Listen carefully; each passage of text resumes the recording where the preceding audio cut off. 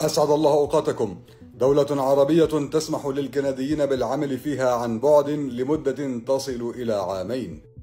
بسبب الأوضاع الاقتصادية أو حتى السياسات الجندرية اللي عم تفرض على الأبناء بالمدارس عم بفكر بعض الكنديين بالانتقال إلى مقاطعات أخرى أو حتى إلى بلدان أخرى. وهناك بعض البلدان التي تسمح للكنديين بالانتقال إليها والعمل فيها وإعطاء الإقامة المؤقتة أو الدائمة.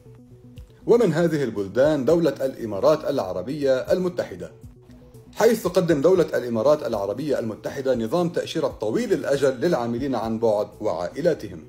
وتأشيرة إقامة العمل هي تأشيرة مدتها عام واحد تسمح للأجانب بدخول دولة الإمارات العربية المتحدة تحت الكفالة الذاتية والعمل بما يتماشى مع الشروط والأحكام الصادرة مع التأشيرة. لكن في شروط للتقدم على هي التأشيرة ومنها أنه هن يكونوا قادرين على تقديم دليل على أنه هن بيشتغلوا بمنظمة أو شركة خارج الإمارات العربية المتحدة.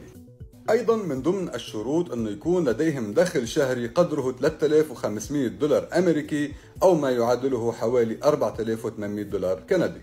لكن إن أردت أن تسكن في أكبر مدن الإمارات العربية المتحدة اللي هي دبي فهناك شروط مختلفة.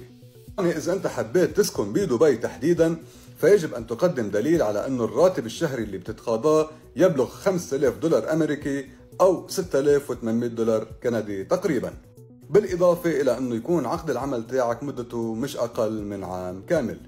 أنتم ما رأيكم بالانتقال من كندا إلى الإمارات العربية المتحدة؟ خبرونا بالتعليقات طبعا لمزيد من التفاصيل حول هذا الخبر أو أخبار أخرى تتعلق بكندا يرجى زيارة موقعنا الإخباري الفرقان ودمتم بألف خير.